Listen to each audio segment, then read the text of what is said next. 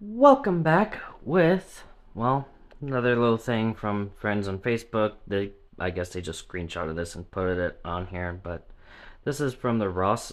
This is on Second Street, going towards Rawson's, which is like a um, clothing store. I want to say. Only been in it a couple times, but yeah. So this is what's been from uh, Diaz. So yeah, it's definitely been dumping snow. Um, and again, Okanogan, Omak area. Um, so yeah. Uh, with that, that's really about it. Stay safe out there. See you in the next video. Bye.